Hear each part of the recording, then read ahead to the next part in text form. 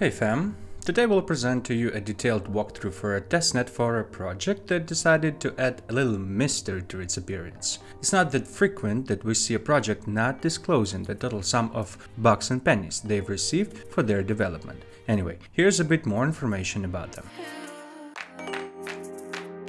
Kakarot is a groundbreaking zero-knowledge EVM built on the Cairo virtual machine. Kakarot is designed to be EVM compatible and can run Ethereum smart contracts. It can be deployed on StarkNet, a layer 2 scaling solution for Ethereum, allowing it to execute EVM bytecode programs. Fun fact, Kakarot is a ZK EVM with less than 10,000 lines of code, a remarkable achievement. Kakarot has modular design, so it's the first modular ZK EVM that enhances flexibility and maintainability. It enables private, scalable, and efficient execution of EVM-compatible code. It's fair to say that Kakarot bridges the gap between ZK snarks and Ethereum smart contracts. We still don't know the amount of investments they've raised, but only the names of impressive funds that were involved, such as Long Hash Ventures, Stake Capital Group, OKX Ventures, and Vitalik Buterin, the founder of Ethereum himself. These investors tell us that this is not some kind of a casual project. Share in the comments what do you think might be the reason for them to keep this info undisclosed. But their testnet has been announced just a few days ago, and we are still early to join. In addition, we'll cover other projects that you might want to interact with to touch some additional smart contracts within Kakarot ecosystem. Avoid the FOMO by subscribing to our channel and watching all of the videos as soon as they're published. Here we go! We'll begin the testnet activities with requesting some Kakarot tokens from the faucet. Go to the faucet page and connect your EVM wallet. Hit the claim button and you should receive some Ethereum tokens. Then we'll go to Kakaswap website to perform some swaps. Connect your wallet and perform a few of these activities. Each transaction might take up to a minute to be processed, so there aren't many tokens available. It will be a good idea to interact with all of them.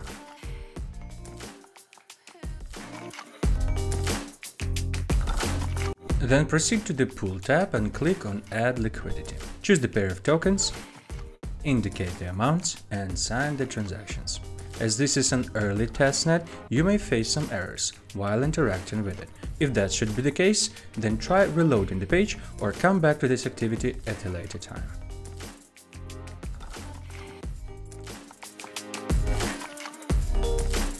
The next step will take place on Izumi swapping website. Go to this page and connect your wallet. Make sure you have selected the Kakarot testnet network.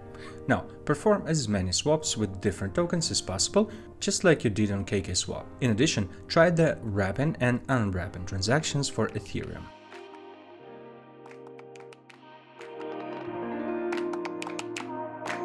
Here is another website in Kakarot ecosystem, Swaplace. Connect your wallet. Check if the networks are set to Kakarot Sepolia. Then press Mint your tokens. Select ERC20 and sign the transaction. Wait for the confirmation from the website that tokens are minted and until the transaction is finished processing in your wallet. When you get the notification, click on it to go to the Kakarot Explorer.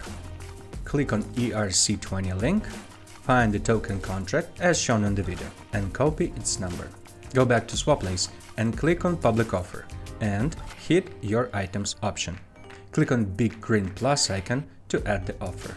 Choose ERC20, paste the contract number and hit Add Token button. Then perform the same actions in their Items tab. Add the amount of tokens that you'd like to be available for the swap. Set the date and provide the offer price. Click on the swap button and approve the transaction. Wait for the confirmation and then hit continue and sign the transaction in your wallet again. After you've received the final confirmation, it's time to move on to the next activity. We've got just a few interactions left and one of them is to deploy the NFT. Visit the NFT's website, connect your wallet and choose Kakarot Sepolia network. Select one of the options to create the NFT. Fill out the needed fields, such as name and description, and upload the picture for the NFT. Click on deploy button and wait while the NFT is being uploaded. After that, you'll need to sign the transaction. Deploying NFT is a great way to trigger an additional smart contract within Kakarot ecosystem, so feel free to repeat this process a few times. And as simple as that, we are coming closer right to the last activity for today. The final activity for today will take place on Swap. Connect your wallet and perform the swap of USDC and Ethereum. In case other tokens are available as well, then make the swapping of them too.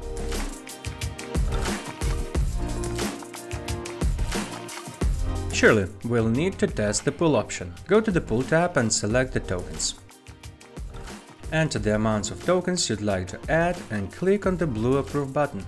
Then the transaction should be confirmed and all that is left is to click supply. Keep in mind that these testnet transactions might take different time to process.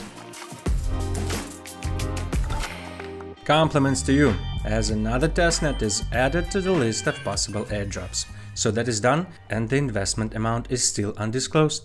Well, we can only wait and see if we'll be rewarded with an unexpected surprise in the future. But it's no surprise that we'll appreciate if you click the like button and subscribe to Atoms Research. Thanks for watching and see you in the next video.